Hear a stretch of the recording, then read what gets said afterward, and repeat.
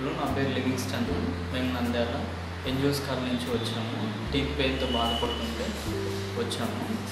దాన్ని త్రీ సిట్టింగ్స్గా మార్చేసి ఒక మంచి క్యాబ్ వేశాడు. తక్కువ ఖర్చులో ఎంతసేపు ఉన్నా టైం ఎక్కువ తీసుకొని నీట్గా తీసి చూపించి మరి క్యాబ్ వేశాడు.